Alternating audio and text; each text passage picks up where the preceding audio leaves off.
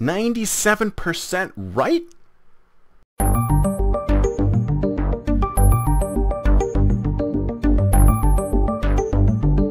Good morning, everyone, and welcome to Think Future. My name's Chris Kalaboukis, and once again, we're coming at you live from deep, deep, deep in the heart of Silicon Valley, California. We're talking innovations. Wait a minute. We're not talking about innovation. Innovation is out the door. We're talking AI, startups, humanity, and the future. Not necessarily those, and not necessarily in that order. It's show number 966. Interesting number, right? And today we're going to talk a little bit about something I saw. But first of all, let me don't forget to mention that this Friday, this Friday, folks, is the launch day for 10xyou.us. That's right, folks, 10xyou.us.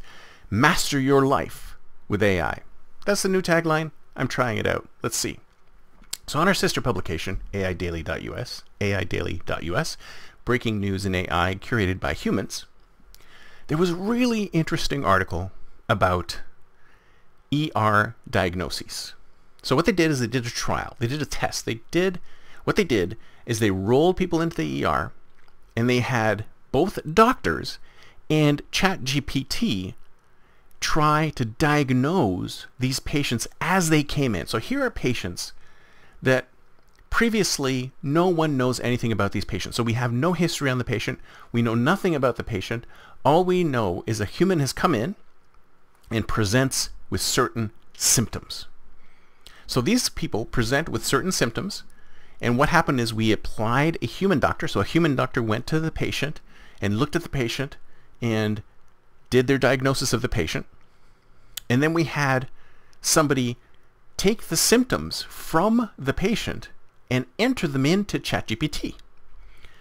And the results were surprising, astounding, some might say. Astounding.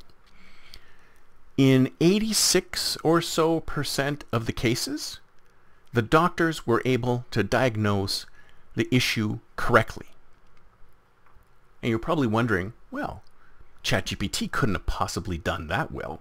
I mean, that sounds like a pretty high number. I mean, you got human beings coming in, you got human beings trying to diagnose human beings. Obviously, human beings know how to diagnose human beings better than machines do.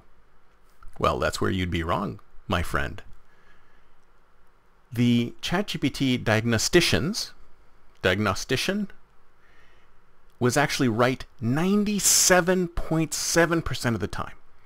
It was right almost 10% more of the time. 10% more? Well, 10%. The 10% the number was different. The number was 10% different. ChatGPT was were, was almost 100% perfect, whereas doctors were 86% perfect.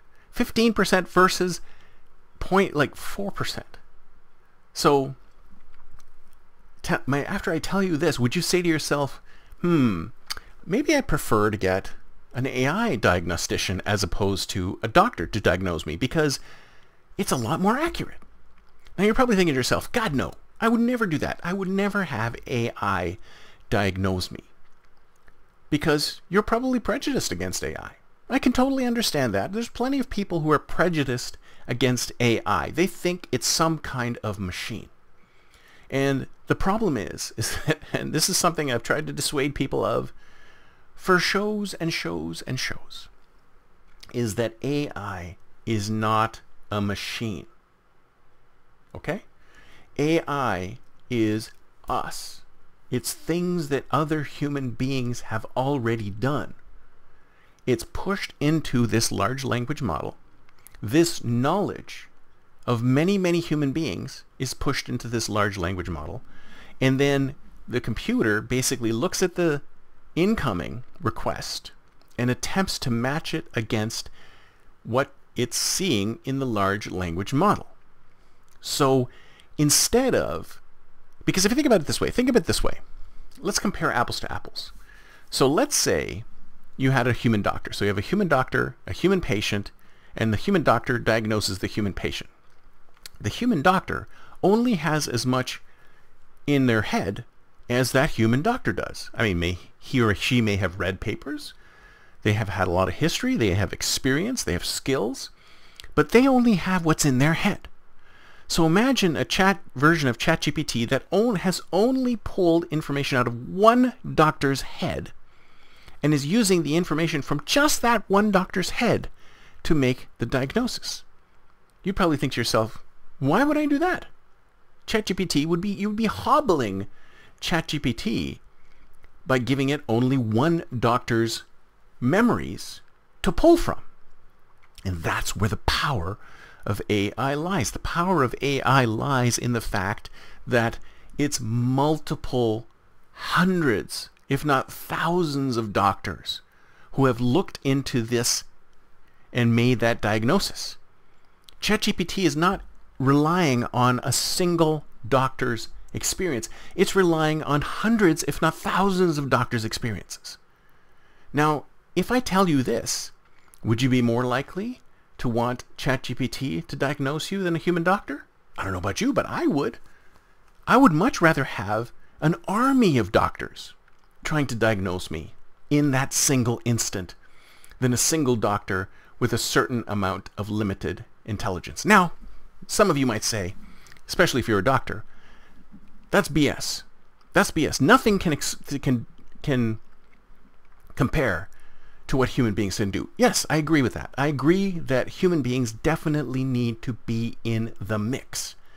But there's nothing that's stopping us from using ChatGPT to get additional diagnostics in addition to what the human diagnostician is looking at. And the human diagnostician, the human doctor has to be looking, has to look at the input from ChatGPT and go, that's possible. We need to use, when you're trying to diagnose a problem, you need to use every single tool. And every doctor should have an open enough mind to say, I'm going to use my head, I'm going to use other doctors' heads, and I'm going to use ChatGPT to try and figure out what's wrong with this patient. Because isn't that the most important thing? Trying to figure out, trying to diagnose the issue, whether or not a human doctor does it, or ChatGPT does it, or an army of doctors does it. Let's make sure that what happens is that the diagnosis is as close to correct as possible. And if you ask me, if a human doctor is not present, I'd be okay with an AI doctor diagnosing me because I'd have more trust in a diagnosis from an AI doctor than a human doctor at this point in time. I'm not saying that the human diagnosis, the human combined with an AI diagnosis is the absolute best. So don't go for one or the other. I'm saying we should do one and the other. That's it for me for today. See you next time, and until then, don't forget to think future.